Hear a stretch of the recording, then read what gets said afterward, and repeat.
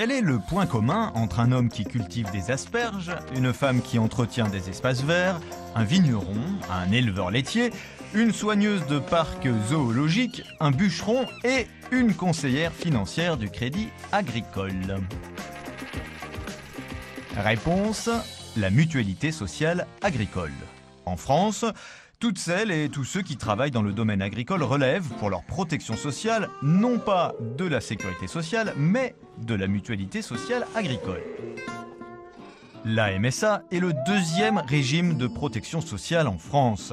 En cas de maladie, en cas d'accident du travail, en cas de maladie professionnelle, mais aussi lors d'une naissance ou pour le versement des allocations familiales, lorsqu'arrive la retraite après des années de travail, dans toutes ces situations, la mutualité sociale agricole assure. Au total, presque 6 millions de personnes, 5,6 millions pour être exact, dépendent de la MSA. Autre particularité, la mutualité sociale agricole perçoit directement auprès des entreprises les cotisations sociales sans passer par un intermédiaire tel que l'URSSAF.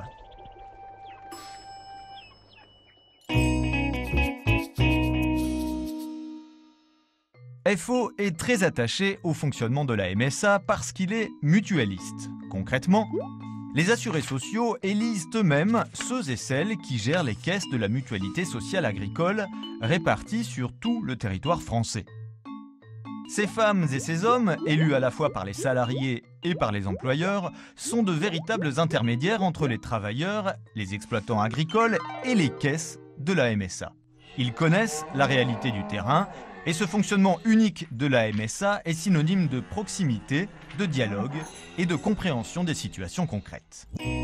Les prochaines élections de la mutualité sociale agricole auront lieu en janvier 2020. Trois types d'électeurs pourront se prononcer. Il s'agit non seulement des exploitants et des artisans agricoles, qu'ils soient employeurs ou non, mais aussi des salariés du vaste secteur agricole, qu'ils soient actifs ou retraités, ou même qu'ils perçoivent une rente pour accident du travail ou invalidité. Ces électeurs désigneront, nominativement ou par liste, un délégué par canton.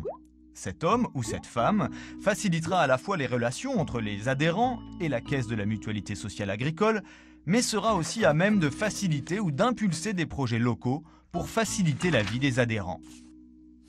À l'occasion de ces élections, la Fédération générale Force ouvrière des travailleurs de l'agriculture, de l'alimentation des tabacs et des services annexes, ainsi que la Fédération des employés et cadres FO, présenteront des candidats.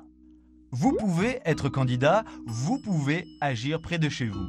Les militants FO se tiennent à votre disposition pour accomplir les démarches nécessaires et participer à la défense d'un modèle mutualiste unique adapté aux besoins de chacune et de chacun.